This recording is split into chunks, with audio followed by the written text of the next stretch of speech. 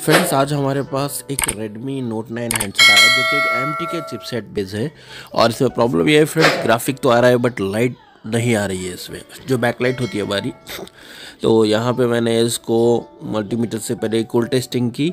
और cool testing में friends मुझे फॉल्ट ये मिला, इसकी जो एम लाइन होती है पल्स विद मॉड्यूलेशन जो कि सी से कनेक्ट होती है, और वही लाइन उसकी आईसी के साथ भी कनेक्ट होती है। देख सकते हैं ब्लू कलर की जो लाइन देख रहे हैं यहाँ पर। सी ए बी सी या पी डब्ल्यू एम जिसे कहते हैं, यहाँ पर आकर के यहाँ से ये I C to C P U connect होती है। तो ये लाइन यहाँ पर मिसिंग थी।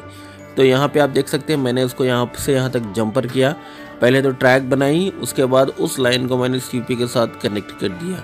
यानी दो जंपर यहाँ पे हमने लगाए यहाँ पे बताना चाहूँगा, ये देख सकते हैं ब्लू कलर की जो लाइन है हमारी, इसको हम सी कहते हैं। तो यहाँ पे फ्रेंड्स ये जंपर लगा दिया है मैंने और टेप इसलिए लगाया है ताकि अभी यू गिलू वगैरह लगाऊँगा मैं। तो यहाँ पे फ्रेंड्स जंपर लगा दिया है मैंने। अभी हम बोर्ड में फिट करेंगे और फिट करके चेक करेंगे कि हमारा प्रॉब्लम सॉल्व होता है कि नहीं होता है। तो दोस्तों, आपको अगर cool testing hot testing method पता है, बहुत ईजिली आप हैंडसेट को रिपेयर कर सकते हैं। अगर आपको ये सारी चीज़ सीखनी है तो ज्वाइन कर सकते हैं phone fix Hyderabad. Twenty seven February से हमारा बैच है ऑफलाइन बैच, जो कि 20 दिन की ट्रेनिंग देते हैं आपको।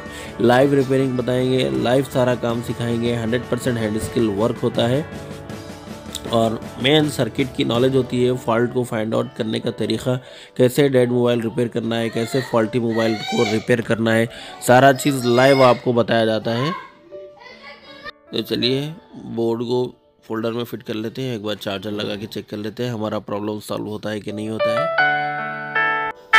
तो ये देख सकते हैं फ्रेंड्स यहाँ पर हमारा लाइट आ चुका है।